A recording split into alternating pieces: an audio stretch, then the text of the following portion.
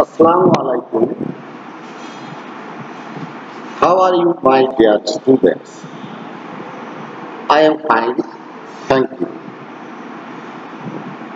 We are in danger now from for coronavirus. It is a global problem. We will take some steps to protect ourselves We should not go out from house unnecessarily.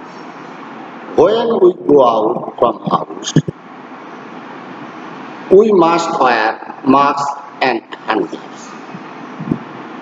We wash our hands always with soap. We keep distance from other people. ছাত্রছাত্রীরা এই corona ভাইরাসে আজ পৃথিবী সংক্রামক লক্ষ লক্ষ লোক আক্রান্ত হচ্ছে এবং মারা যাচ্ছে। ভয়ের কিছু নেই। Don't worry almighty Allah is always with us we will know narration today ন্যারেশনও বলা যেতে পারে স্পিচও বলা যেতে পারে, বাংলায় উক্তি বলা হয়। তাহলে আমরা আজকে ন্যারেশন সম্বন্ধে জানি। ন্যারেশন হচ্ছে বক্তা যা বলে তাই স্পিচ বা ন্যারেশন। ন্যারেশনকে দুইটি ভাগে বিভক্ত করা হয়েছে। একটা ডাইরেক্ট ন্যারেশন, একটা indirect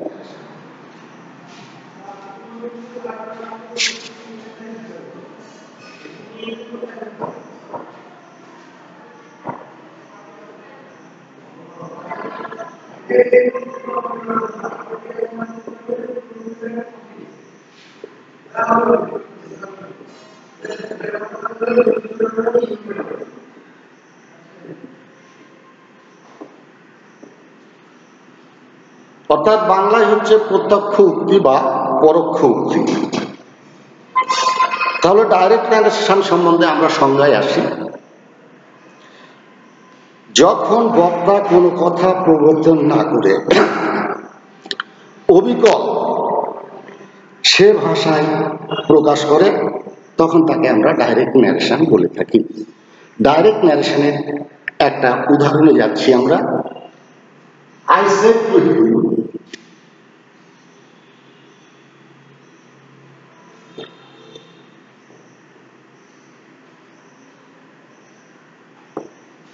I said to him, I am ill.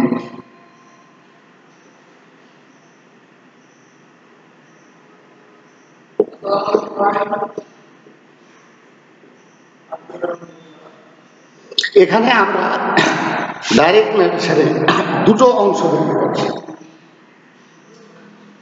I said to him I am এইটাকে বলা হয় রিপোর্টিং ভার কমার আগে যে অংশটুকু আছে, এটা হচ্ছে রিপোর্টিং ভার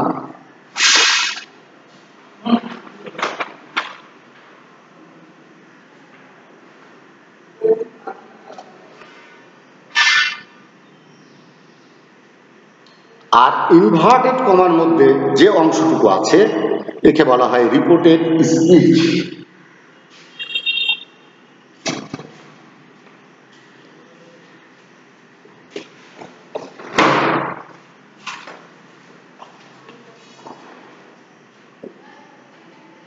এখন আমরা আসব ন্যারেশন চেঞ্জ স্পিচ চেঞ্জ প্রশ্নে থাকে চেঞ্জ অফ ন্যারেশন অথবা চেঞ্জ অফ স্পিচ এর কিছু রুল আছে। যদি আমরা দেখি রিপোর্টিং ভারটা পাস টেন্সে আছে, তাহলে রিপোর্টেড স্পিচের টেন্সে চেঞ্জ হবে।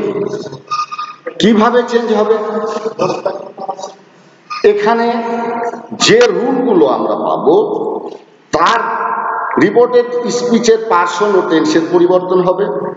নৈকট্য সূচক বা সময় জ্ঞাপক ওয়ার্ড সমূহের পরিবর্তন হবে।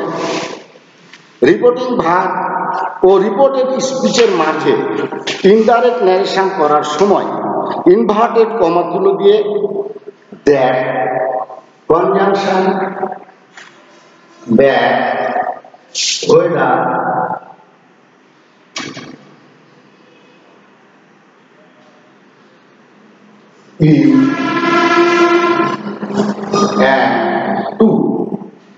ইত্যাদি বসবে টেন্সের যে চেঞ্জের কথা তোমাদেরকে আমি বলেছিলাম, সেটা হবে যদি রিপোর্টিং ভার পাস্ট টেন্সে থাকে, তাহলে রিপোর্টিং স্পিচের যে চেঞ্জ হবে, তা হচ্ছে প্রেজেন্ট ইনডিফিনিট হলে, তা হবে পাস্ট ইনডিফিনিট প্রেজেন্ট কন্টিনিউয়াস হলে, সেটা হবে পাস্ট কন্টিনিউয়াস প্রেজেন্ট পারফেক্ট হলে সেটা হবে পাস্ট পারফেক্ট যদি প্রেজেন্ট পারফেক্ট কন্টিনিউয়াস থাকে, তাহলে present perfect continuous past indefinite থাকলে সেটা হবে পাস্ট পারফেক্ট পাস্ট কন্টিনিউয়াস থাকলে past perfect continuous past perfect থাকলে পাস্ট পারফেক্টই পাস্ট পারফেক্ট কন্টিনিউয়াস থাকলে পাস্ট পারফেক্ট কন্টিনিউয়াস ফিউচার থাকলে ফিউচার ইন পাস্ট অর্থাৎ শ্যাল থাকলে শুড উইল থাকলে এবার আমরা ডাইরেক্ট ন্যারেশন থেকে ইনডাইরেক্ট ন্যারেশনে যাওয়ার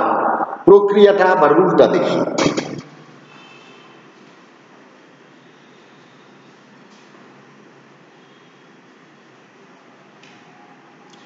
প্রথমে আমরা রিপোর্টিং ভার্বের অংশটা লিখে নিব।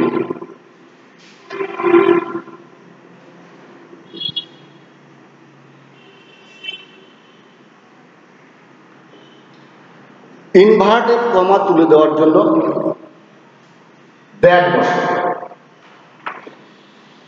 যেহেতু রিপোর্টিং ভাবটা পাস্ট টেন্সে আছে, আর রিপোর্টের স্পিচটা প্রেজেন্ট ইনডিফিনিট টেন্সে আছে, এবার রিপোর্টের স্পিচটা পাস্ট ইনডিফিনিট টেন্সে যাবে। দ্যাট আই ওয়ান এর মাঝে আমরা আরও কিছু জানব। যদি রিপোর্টিং ভার প্রেজেন্ট টেন্সে অথবা প্রেজেন্ট পারফেক্ট টেন্সে অথবা ফিউচার টেন্সে থাকে, অথবা রিপোর্টের স্পেসটা যদি ইউনিভার্সিয়াল ট্রুথ হয়, চিরন্তন সত্য, তাহলে শুধু কনজাংশন ব্যাক বসবে পার্সনের চেঞ্জ হবে টেন্সের কোনো চেঞ্জ হবে না। আমরা একটা এখন উদাহরণে যাচ্ছি। Present indefinite tense reporting verb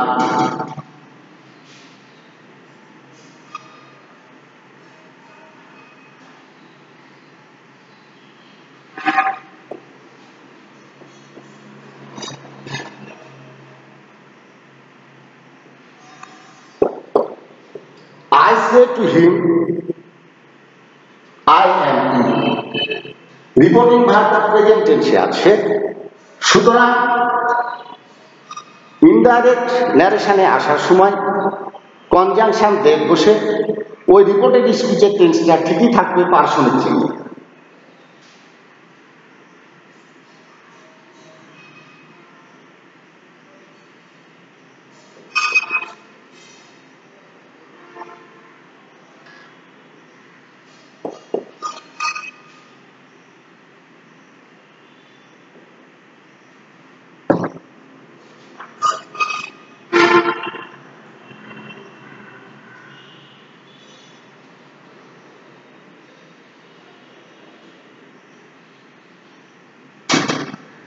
তাহলে আমরা ইনডাইরেক্ট ন্যারেশন দেখতে পাচ্ছি এবং বুঝতে পাচ্ছি, যখন বক্তার উক্তি হুবহু প্রকাশ না করে অর্থ ঠিক রেখে অন্যের ভাষায় পরোক্ষভাবে প্রকাশ করা হয়, সেটাই হচ্ছে ইনডাইরেক্ট আই আই আমি তোমাদের আর একটা কথা বলেছিলাম, যদি রিপোর্টেড স্পিচ ইউনিভার্সিয়াল ট্রুথ হয়, তাহলে রিপোর্টেড রিপোর্টিং ভার পাস্ট টেন্সে থাকা সত্ত্বেও রিপোর্টেড স্পিচের টেন্সে চেঞ্জ হবে না। আমরা এখন একটা উদাহরণ দেখি। Teacher said to us the earth is round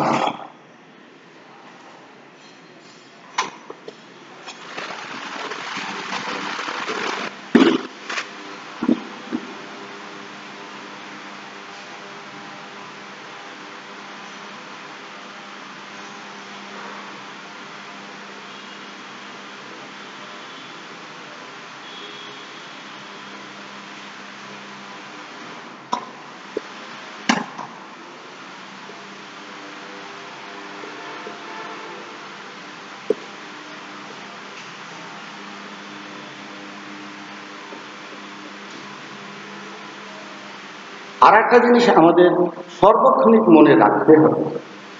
যেটা হচ্ছে ইনভার্টেড কমার মধ্যে যে সেন্টেন্সটা আছে, এই ইনভার্টেড কমার ফার্স্ট ওয়ার্ডটা ক্যাপিটাল লেটার তাহলে এটার চেঞ্জে তোমাদের আমি বলেছিলাম যে রিপোর্টিং ভার পাস এসে থাকলেও যদি ইউনিভার্সিয়াল ইউজ হয়, তাহলে রিপোর্টের টেন্সের কোনো চেঞ্জ হবে না। শুধু কনজাংশন দেয় যেমন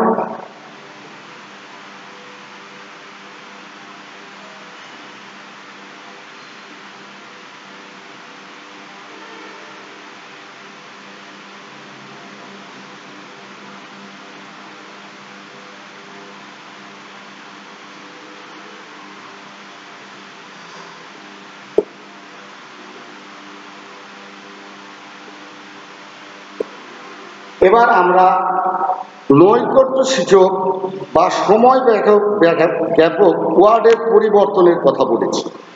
তাহলে কি হবে? বিষ থাকলে দ্যাট হবে, বিষ থাকলে দোজ হবে, হেয়ার থাকলে দেয়ার হবে, এগো থাকলে বিফোর হবে, কাম থাকলে গো হবে, দাস থাকলে শো হবে, নাও থাকলে দেন হবে টুডে বা টু নাইট থাকলে দ্যাট ডে বা দ্যাট নাইট টুমোরো থাকলে দ্য নেক্সট ডে বা দ্য ফলোয়িং ডে ইয়েস্টারডে থাকলে দ্য প্রিভিয়াস ডে বা দ্য ডে বিফোর হেন্স থাকলে দেন্স এবার আমরা একটা সময় ব্যাপক ওয়ার্ড দিয়ে একটা ডাইরেক্ট ন্যারেশন থেকে ইনডাইরেক্ট ন্যারেশনে যাওয়ার প্রক্রিয়া।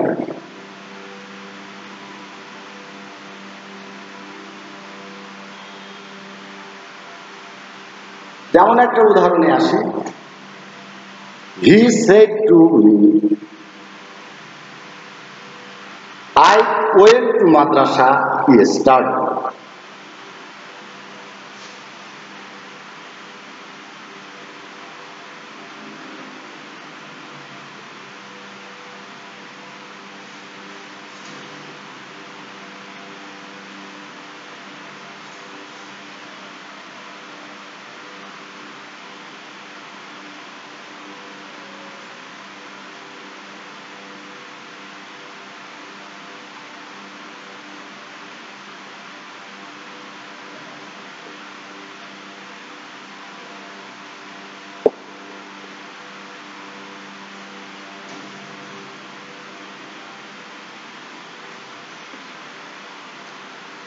এটা হচ্ছে সময় জ্ঞাপক ওয়ার্ড তাহলে আমরা কি বলেছিলাম?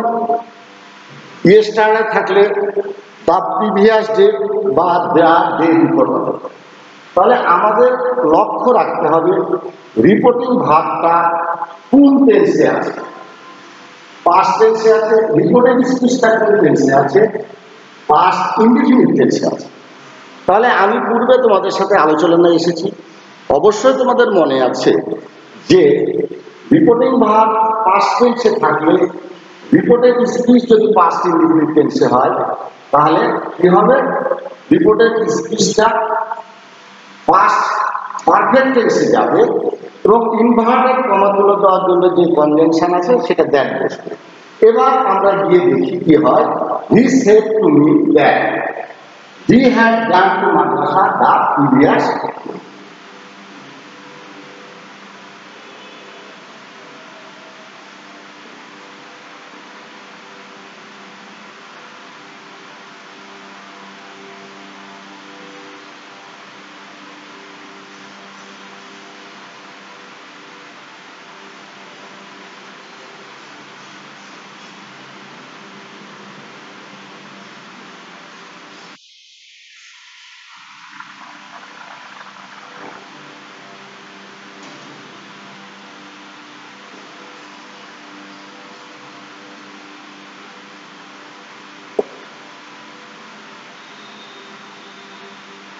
আশা করি তোমরা আমার সাথে একমাত্রভাবে বুঝতে চেষ্টা করছ, বুঝতে পারবে। আল্লাহ তোমাদের সহায়ক হোক। স্টেসে স্টে হুম, স্টাডি আসসালামু আলাইকুম, আল্লাহ